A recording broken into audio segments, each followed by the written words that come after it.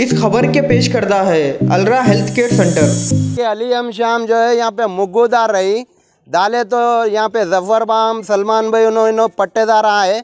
आके बोले तो इधर नहीं आती, वो नहीं आती। उसके बाद क्या बोल रहे हैं? बोले तो दस फीट की तुम ले लो रोड, दस फीट की मैं आगे वालों को भेज दिया, बोल रही। और मैं बीच में बोला तो मेरे को बोल रहे नहीं बोलना, क्या? चल चल कहते अली हम शाम अब भी मेरे को मारने आंग हे चल चल, बोल के डराया। भाई, कल यहाँ पे काम करा रहे थे, ये बाजू प्लाट वाले काम करा रहे थे। उसमें क्या है, लेबर भी थे, लोग भी थे यहाँ, और मेरा प्लाट यहाँ बाजुक है। ये प्लाट के ऐसे लोग फ़ोन मारे मेरे को। फ़ोन मारे इनो चिचा फ़ोन मारे, फ़ोन मार के बोले कि, भाई, ये पूरी रोड बन हो जा रही बोले। तो मैं आया, आगे देखा तक, वो लेबर जो है, मुग्गू उग्गू डाल दिए थे। तो गलत फहमी में उन्होंने क्या करे, अली हमशाम आके डाले, वो है बोले तो लेबर और यहाँ के लोग भी बोले मेरे को। तो बोलने से मैं इंस्ट्रूमेंट दिया, अली हमशाम ऐसा करे बोल के ना, अली हमशाम मैं देखा, ना करा, जब तक अपन नहीं देखे, किसी का नाम नहीं लेना बोल के, इतना भी समझाए। इंशाल्लाह अली भाई का कोई मसला नहीं है भाई हमारे को, ना उन्होंने कोई प्लाट कब्जा नहीं कर रहे थे, कोई चीज़ का नहीं था। वो रोड का मसला था, एक हमारी रोड बंद हो रही थी। हम वो वजह से, वो बात मैं बोला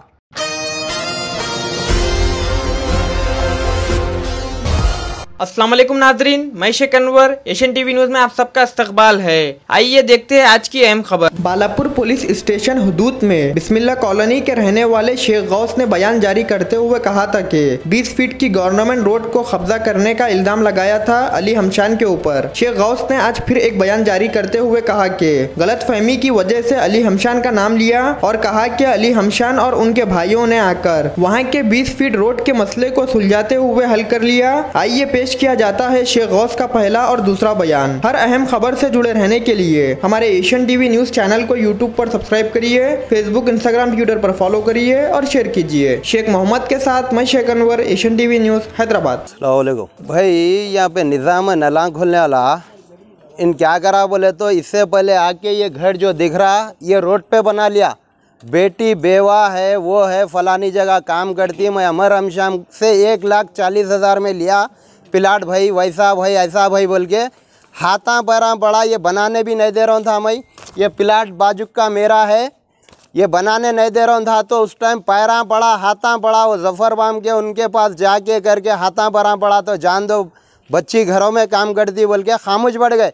अब आके अली हम शाम जो है, यहाँ पे मुग्गूदार रही डाले तो यहाँ पे जफ़र बाम सलमान भाई, उन्होंने पट्टेदार आए आके बोले तो इधर नहीं आती वो नहीं आती उसके बाद क्या बोल रहे हैं? बोले तो दस फीट की तुम ले लो रोड दस फीट की मैं आगे वालों को भेज दिया बोल रही।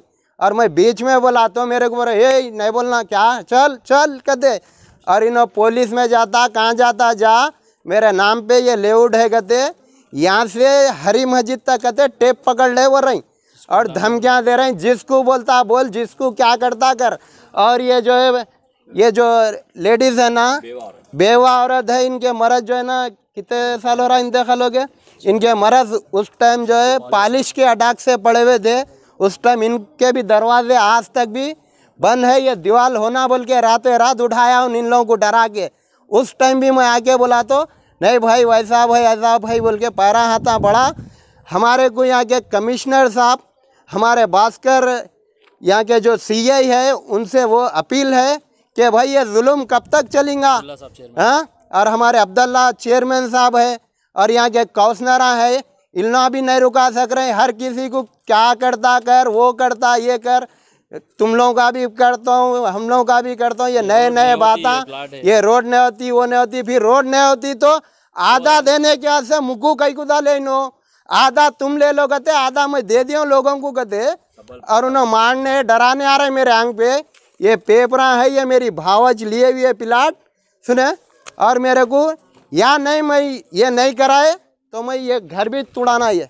नहीं बोले तो मैं कमिश्नर ऑफ़िस जहाँ बोले वहाँ जाता हूँ और हर दिन मीडिया में डालता हूँ। चाहे उन्हें मारे तक फुर्सत या ख़त्म कर दिया तक फुर्सत, अली हम शाम अब भी मेरे को मारने आंग दिया ए, चल चल, बोल के डराया। सुने? बस, उन रौडी है, पहलवान है यहाँ का।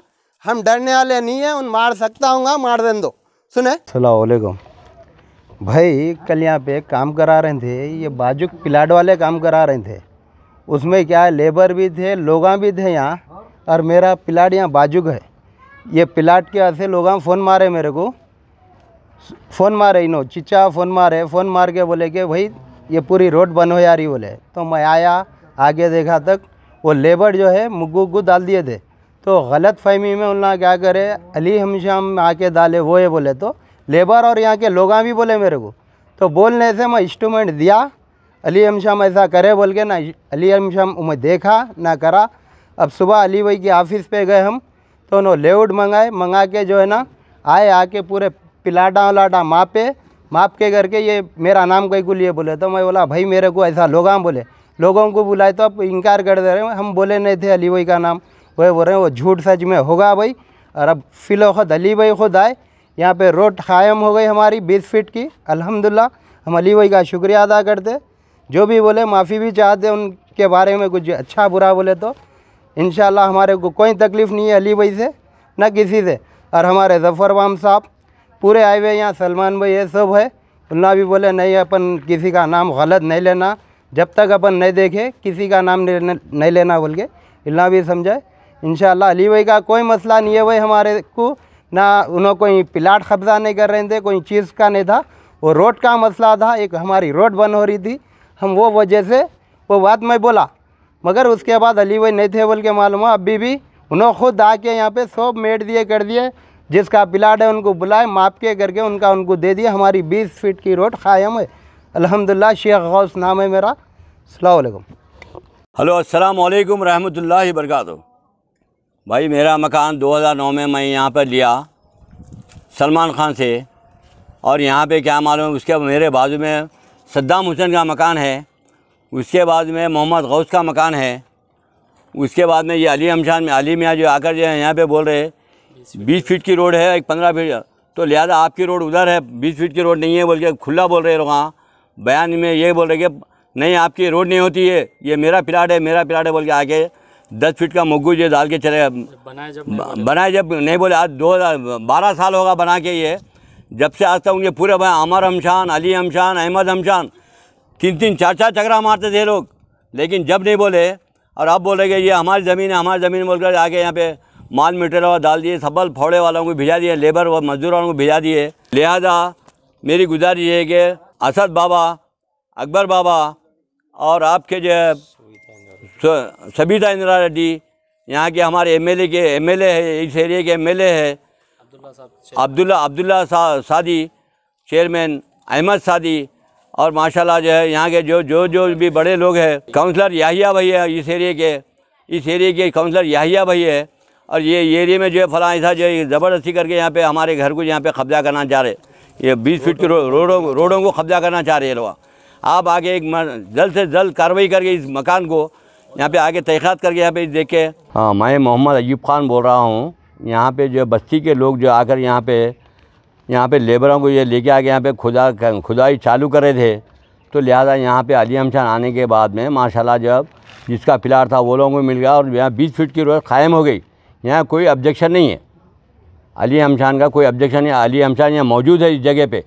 हैदराबाद का पहला 99 स्टोर और हिंदुस्तान का पहला 199 कस्टम स्टोर लॉन्च करने के बाद इजी एक्सप्रेस के मालिक जनाब रमीज़ अली खान आपके लिए ले आए हैं इजी डिस्काउंट कार्ड एक ऐसा डिस्काउंट कार्ड जिसे हमसे जुड़े हुए शॉप्स पर दिखाने पर आपको मिलेगा डिस्काउंट जो शॉप्स इजी डिस्काउंट कार्ड से जुड़ना चाहते हैं और अपने कस्टमर्स को परमानेंट करवाना चाहते हैं तो हमारे स्क्रीन पर दिए गए नंबर्स पर रबता पैदा कर सकते हैं और अपना रजिस्ट्रेशन करवा सकते हैं।